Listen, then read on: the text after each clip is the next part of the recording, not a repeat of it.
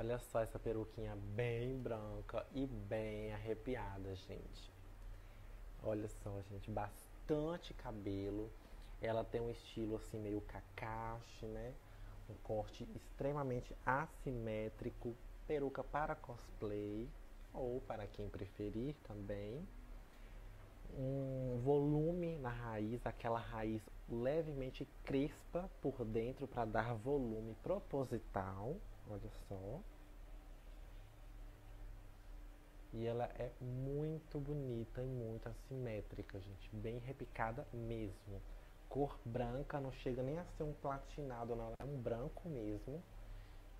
E fibra de alta qualidade. Bem lisinha e que embola com muita dificuldade. Muito difícil de embolar, por ser lisa e curta. Se você gostou, entre aqui embaixo em ver produto para você conferir o preço e ver as características